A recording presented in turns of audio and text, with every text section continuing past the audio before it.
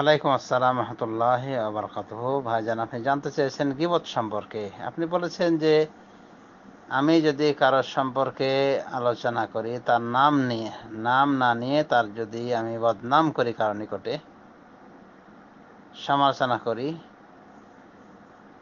আর ওই ব্যক্তি যার সামনে আমি সমালোচনা করছি, তার অন্য ব্যক্তির সে তাকে চিনে, অতএব নাম না নিলেও সে চিনতে পারবে। তো এটা কি গিবতের অন্তর্ভুক্ত হবে কি হবে না? এটা অবশ্যই গিবতের অন্তর্ভুক্ত হবে, যেহেতু সে জানে ওই ব্যক্তি, কাজে ওর নাম নেওয়া, না নেওয়া সমান। আর এমনভাবে তার নাম নেওয়া হচ্ছে যে চিনতে যাতে কোনো বাকি না থাকে। তাহলে তো এটা গিবতি হলো। আর গিবতের সংজ্ঞায় কিন্তু এটাই বলা হয়েছে। মুসলিম শরীফ হাদিস জিক্রকা খা খা বেমা একরহ তুমি তোমার ভাইকে উল্লেখ করবে এমন গুণের দ্বারা এমন গুণ সহকারে যা সে খারাপ জানে। সুতরাং এখানে যেহেতু সমালোচনা করা হয়েছে ওই ব্যক্তির, এমন কিছু দ্বারা যেগুলি সে খারাপ জানে। এটা কি বোধ? আবার আপনি বলেছেন যে যদি কারও নাম নিয়ে সমালোচনা করা হয় কারোর সামনে, কিন্তু ওই লোক ওই লোকের নাম জানে না। নাম বললেও চিনবে না, চিনে না। তাহলে এটা গিবতের অন্তর্ভুক্ত হবে কি হবে না? এটা বলা যায় গিবতের অন্তর্ভুক্ত হয়ে গেল, কারণ ওকে ওকে নাম সহ বলা হলো। তো হতে পারে সে চিনতে পারে, হয়তো আপনি মনে করেছেন চিনে না, কিন্তু এমনও হতে পারে যে আপনি বলছেন, আপনি মনে করেন চিনে না, কিন্তু আসলে সবই তার নিকটে পরিচিত। কাজে নাম নেওয়াটা উচিত নয়, বলা হতে পারে এরকম এরকম। হ্যাঁ কিছু লোক এরকম করে। যেমন রসুল্লাহ সাল্লাহ আলী আসাল্লাম বলতেন, মেম্বারে উঠে খোদবার, মা বাল আকওয়ামিন ইয়াকুলুনা কাজা ওয়া কাজা লোকদের কি অবস্থা যে তারা এরকম এরকম কথা বলে?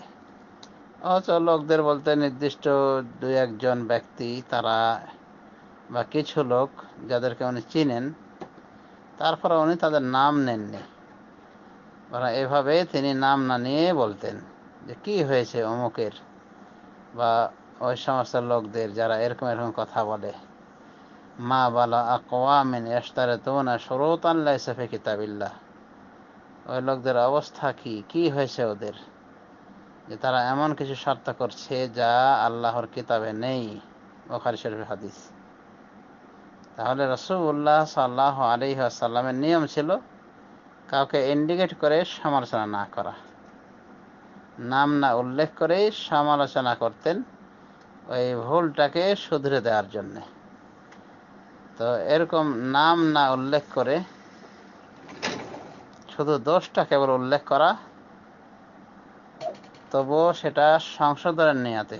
তার কোচ্ছা রহনার জন্য নয়, তাকে ছোট করে দেখার জন্য নয়, তাহলে আশা করা যায় এটা গিবতের অন্তর্ভুক্ত হবে না। বা হলেও এক্ষেত্রে পাপ বর্তাবে না। যদি উদ্দেশ্য সৎ হয়ে থাকে।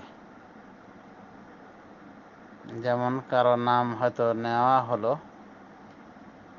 কিন্তু নেয়ার প্রয়োজন দেখা দিয়েছে। যেমন ঘোরতর বেদাতি, কট্টর বেদাতি বা শিরিকবাদী, ইসলামের লেভেলে শিরিক প্রচার করে। যেমন বেরেলবিদের কিছু কুখ্যাত আলেম, সেটা আপনি এনায়তুল্লাহ আব্বাসীকে বলেন বা এর ধরনের মাছ ভান্ডার ইত্যাদি। তো এগুলি এগুলি প্রসিদ্ধ ভণ্ড। তো এদের সমালোচনা নাম সহ উল্লেখ করাতে আশা করা যায় আল্লাহ পাকড়া করবেন না। এরকম সমালোচনা ইমাম বখারি রহমতুল্লাহ আলাইহাও করেছেন। এমনকি মহাদ্দেসিনদের লেখা বই কেতাব এই জাতীয় সমালোচনায় ভরপুর। তো বস্তুনিষ্ঠ সমালোচনা দিনকে রক্ষার জন্যে এবং প্রতারকদের প্রতারণা উন্মোচন করার জন্য এটা বৈধ রয়েছে, বিধিসম্মত রয়েছে, বরং অজীব হয়ে যায় কোনো কোনো সময় এ জাতীয় সমালোচনা। কিন্তু অহেতুক সমালোচনা যদি করা হয়, নাম ধরে যদি করা হয়, সেটাও গিবত হবে। আর নাম না উল্লেখ করে গুণ যদি বলা হয়, এমনভাবে যে গুণ বলতেই এলাকার লোক চিনে ফেলছে এর দ্বারা উদ্দেশ্য কে? এবং এটা নিছক দুনিয়াবী স্বার্থে ওই ব্যক্তিদেরকে খাটো করার জন্য যদি হয়ে থাকে, তাহলে অবশ্যই এগুলি গিবতের পর্যায়ভুক্ত হবে। আবার কিবতের গোনাহ যে কত বড় ভয়াবহ গোনাহ, আশা করি সবার জানা আছে, যে এই গোনাহ হলো কবিরা গোনাহ এবং জাহান নামে শাস্তি ভোগের কারণ, কবরের আজাব ভোগের কারণ। আল্লাহ রব্বুল আলমিন আমাদের সবাইকে সঠিক বোঝার তৌফিক দান করুন। পরিশেষে আবারও বলব যে গিবতের স্বাভাবিক অবস্থা হলো যে এটা হারাম। আর এই ভাই যে সমস্ত ক্ষেত্রগুলো বলেছেন, এগুলি ব্যাখ্যা সহ বলা হলো। যে এগুলি হারাম হবে, একমাত্র ধর্মীয় কোনো স্বার্থ থাকলে এবং নাম প্রচারে বা ওইভাবে তাদের গুণ প্রচার করলে জনগণের কল্যাণ হবে। তাদের প্রতারণার হাত থেকে রক্ষা পাবে, তাহলে বৈধ রয়েছে ইনশাল্লাহ নতুবা বিনা কারণে গিবত করা হারাম এবং কবিরা গুণা আশা করি উত্তর পেয়েছেন। বারাকাল্লাহ ফিক।